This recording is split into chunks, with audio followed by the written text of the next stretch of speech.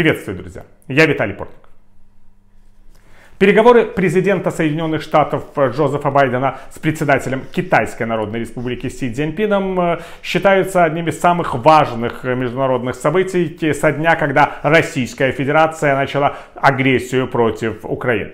Ведь именно от того, какую позицию займет Китайская Народная Республика, насколько она будет готова присоединиться к усилиям цивилизованного мира, который э, старается остановить ошалевшего российского правителя Владимира Путина в его стремлении уничтожить соседнюю страну, зависит э, будущее человечества в ближайшие десятилетия. Ведь мы прекрасно понимаем, что если Владимиру Путину удастся покорить Украину, и сломить сопротивление ее героического народа, то следующими шагами российского президента будет война уже на территории других бывших советских республик. Путин буквально готов залить кровью всю Евразию ради удовлетворения своих э, политических амбиций.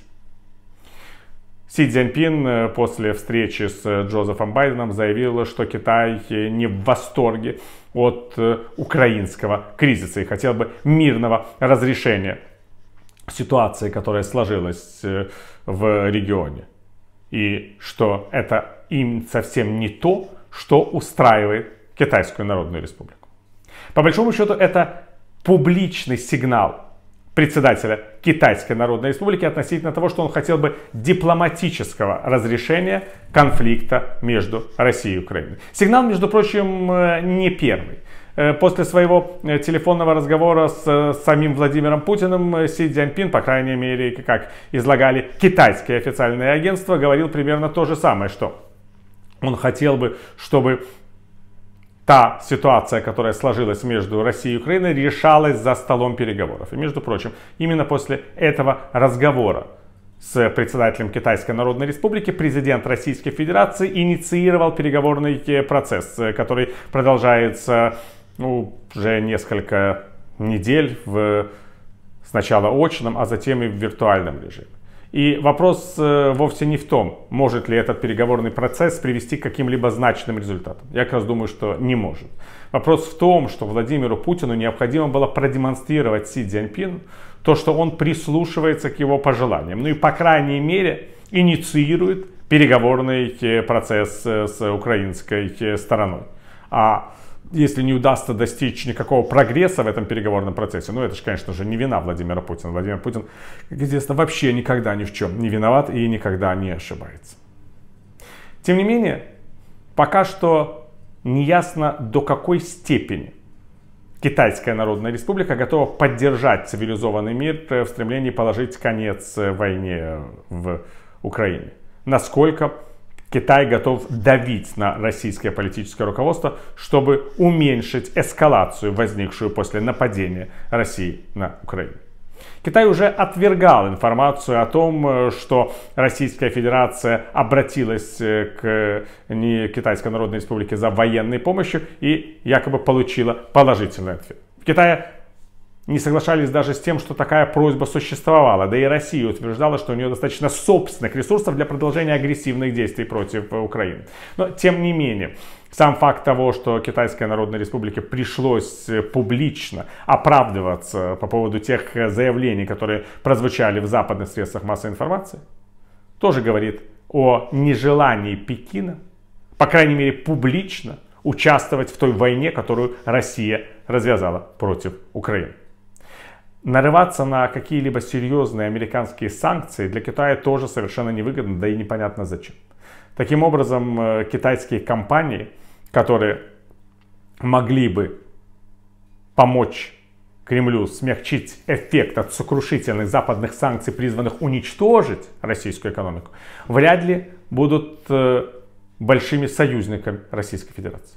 Как и все остальные компании, они будут бояться попасть под американские и европейские санкции, что в свою очередь нанесет сокрушительный удар уже не по российской, а по китайской экономике. А учитывая степень интеграции китайской экономики в экономику цивилизованного мира, такого рода санкционный удар мог бы стать серьезной проблемой для дальнейшего развития экономики Китая и личной проблемой для председателя Китайской республики Си Цзяньпина, который готовится к переизбранию на высшие посты в государстве и партии. И, разумеется, И для того, чтобы обеспечить это переизбрание, первое такое историческое переизбрание в новейшей истории Китайской Народной Республики, Си Цзиньпин должен продемонстрировать экономический рост, стабильность и успехи, а не конфронтацию с Западом и ухудшение экономического состояния страны. Такого рода кризис может э, перечеркнуть все карьерные планы человека, который хотел бы стать несменяемым главой коммунистического Китая. И именно поэтому война России с Украиной явно не в интересах Китайской Народной Республики. Да, конечно, если бы так называемая специальная операция Владимира Путина завершилась бы за 48 или хотя бы за 72 часа, я не сомневаюсь, что во время своей последней встречи с Си Цзиньпином Владимир Путин делал ему именно такое обещание, что за несколько суток э, война с Украиной завершится и в Киеве появится новое марионеточное правительство во главе с Виктором Януковичем, которое будет способно удовлетворить не только политические пожелания Москвы, но и экономические пожелания Пекина, да, конечно, в этом случае э, Син Цзиньпин и другие китайские руководители закрыли бы глаза на художество Владимира Путина, хотя бы уже и потому, что идеологически они хорошо понимают э, российского правителя, когда он говорит о неправильности расширения НАТО, о том, что Россия должна иметь свои сферы сферы влияния, о том, что мир должен быть многополярным, вся эта шизофрения действует э, на китайское руководство как бальзам на душу. И в этом смысле Владимир Путин может не сомневаться, что его разговорчики в строю радуют старшего союзника.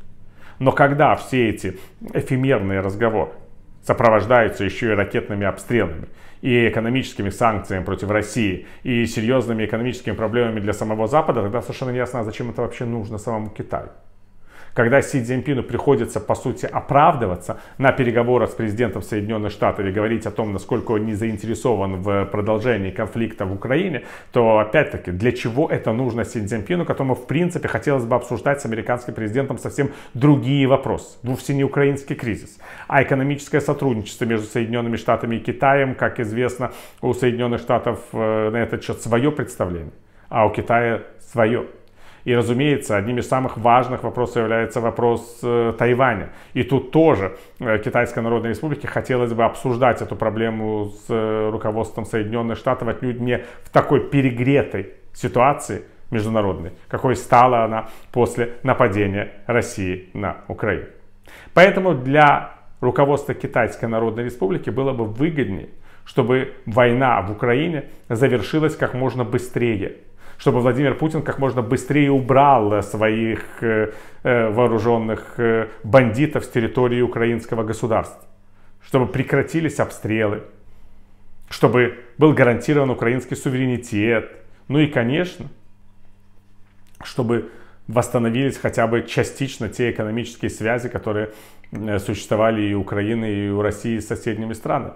Потому что в случае, если они не восстановятся, то продовольственные проблемы – третьего мира, который уже намечается, могут стать серьезнейшими экономическими проблемами Китая. Это будет уже не вопрос Запада, это уже будет вопрос китайских инвестиций в страны, которым будет не до инвестиций, а которым будет важно просто прокормить свое население.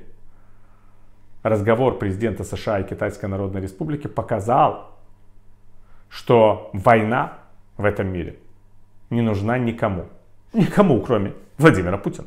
Спасибо, господа. Оставайтесь на этом канале, подписывайтесь на него. И на мой канал в Патреоне, который помогает нам развивать эти проекты. Мира вам!